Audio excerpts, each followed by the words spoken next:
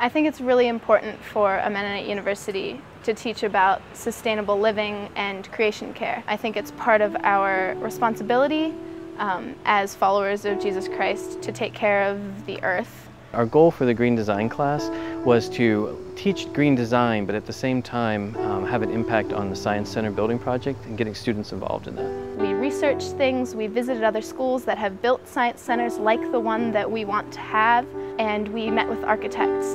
And from that, they came up with a list of recommendations that they could put as a written document. And then they, they took that to the Board of Trustees. It really, I think, communicated to the board how serious it is among the students and how much of an interest this is. It was real work, and that's what I really enjoyed about it. We were actually contributing to the university. Eastern Mennonite University is a part of the Virginia Recycling Association, and they, we were awarded uh, Best University and College Recycling Program in 2008. It's really important to connect, I think, with, with things that are going on in the bigger world and applying it here at EMU.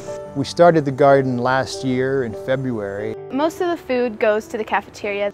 I really enjoy working on the garden because it creates community between the faculty, staff, and the students. EMU isn't just about learning in the classroom, it's also about creating a lifestyle where you can live with one another in a peaceful way. And as a Mennonite institution that tries to emphasize peace and reconciliation, this is just another part of it, right? The garden is a place to reconcile with the land.